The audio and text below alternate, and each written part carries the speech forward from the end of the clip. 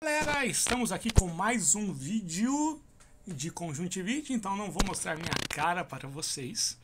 Ninguém merece essa visão cutulesca, cutuliana, sei lá.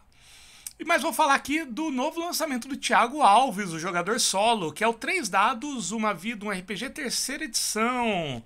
Saiu aqui, tá essa capa bonitona, né? Uma capa bem clean. É... E essa terceira edição é muito legal, aprimora bastante o sistema. Tipo, realmente tá a melhor versão do sistema, que já era legal.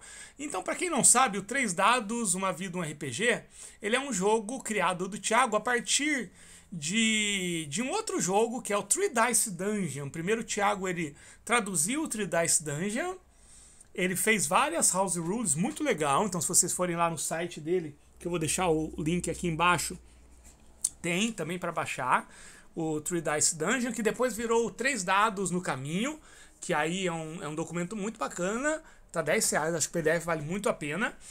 E o Thiago ele pegou a base do sistema, juntou com algumas outras coisas, algumas ideias próprias, com 8-bit Dungeon, e criou esse sistema que é muito legal. Aqui é como se fosse o livro básico, né? Mas tem o algumas versões, por exemplo, tem o Três Dados, Uma Vida um RPG medieval, que é o Dice and Dragons, tem o Cyberpunk, tem até um que é um faroeste espacial que é muito legal. Então ele é um, um sistema genérico que você pode jogar em qualquer tipo de cenário. Muito bacana, né? Então você já tem aí os sistemas genéricos que a gente tem aqui no Brasil, gratuitos, é, que você pode jogar em qualquer cenário. Você tem o, o, Solo 10, que é da 101 Games. Você tem o C4, que é o sistema genérico da, da Coisinha Verde. Você tem esse daqui, além de muitos outros, né? Mas eu tô falando desse. Ele tem regras para jogar solo, sim. E basicamente o personagem ele tem três atributos, que é corpo, mente e habilidade, né? Teve uma mudança aí de nomenclatura e mudou bastante como funciona a habilidade. A habilidade é o que a gente usa para sorte. E agora a habilidade ela tá mais específica, como ela trabalha, questão de magia e tudo mais, está muito mais claro. Era bacana na, nas edições anteriores, mas agora tá mais claro, né? Tá, o texto tá mais é, específico. Então tá bem legal. E além disso, você tem ponto de vida, que é sempre a pontuação de corpo, mais um D6. E lembrando que você é, define os atributos aleatoriamente. Você joga três dados, depois você distribui.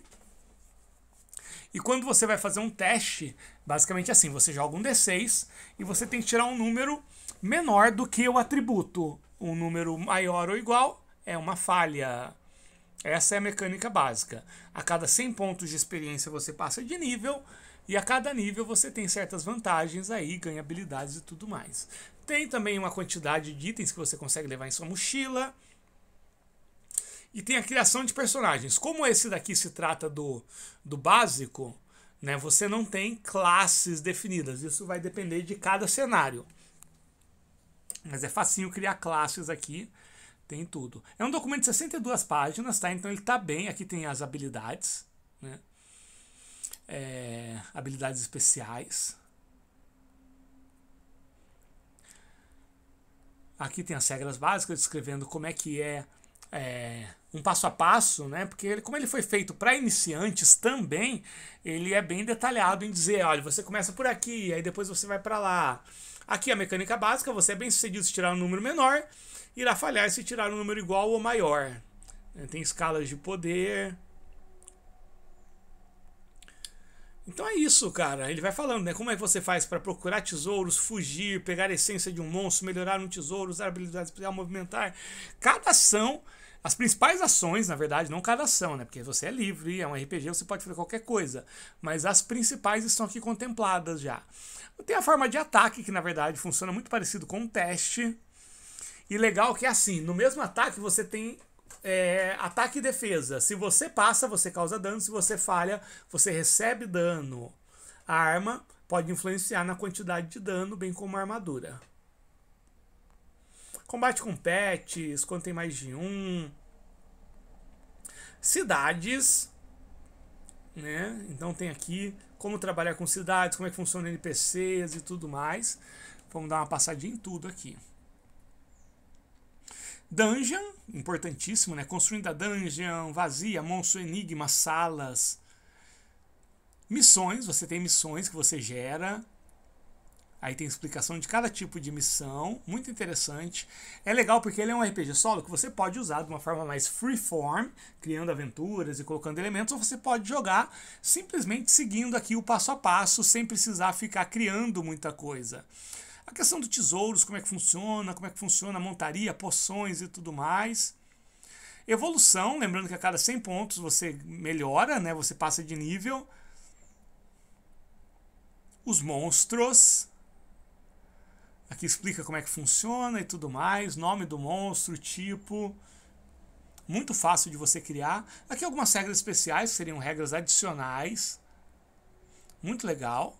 Estamos quase chegando na parte que eu quero mostrar para vocês. Aqui o oráculo. É, então você tem um oráculo Ó, tem até um oráculo de sim e não. Você tem um oráculo de descrição, muito bacana. Ah, um oráculo de tabela, sociedade, como é que é, situação atual, como é que a cidade está. Então tem um oráculo completo, comércio e serviço, como é que é, assunto de NPC, tabela de, de pet, tabela de missões, evento nas estradas, tabela de dungeon. Né? Onde é que será que é a dungeon? Tabela de aspecto, como é que é? Que tipo de monstro tem lá? Ela é conhecida por quê? O chefão do local qual que é? Como é que é a sala? Qual que é o conteúdo da sala? Como é o monstro? Ele tem habilidade especial? Evento na dungeon, o que, que acontece? Então essas tabelas, galera, elas podem ser úteis mesmo se você não está jogando três dados uma vida um RPG. E aqui termina com as fichas de personagem. E aqui, né? Ó, então eu já li tudo que o que o Thiago já escreveu. Eu comprei esse 8-bit dungeon, eu acho fantástico, ele é muito completo. Esse três dados no caminho eu também comprei. E esse Mortos Vivos no caminho tá na minha lista. Recomendo demais, galera. Então é isso, deixa eu voltar lá pro começo. Três dados, uma vida, um RPG. Recomendo demais. Vou deixar o link aqui embaixo, tá bom? Lembrando que esse documento, é, esse o genérico aqui, que serve para qualquer tipo de cenário, ele é gratuito, é só baixar, tá bom, gente? É isso, um abraço, a gente se vê.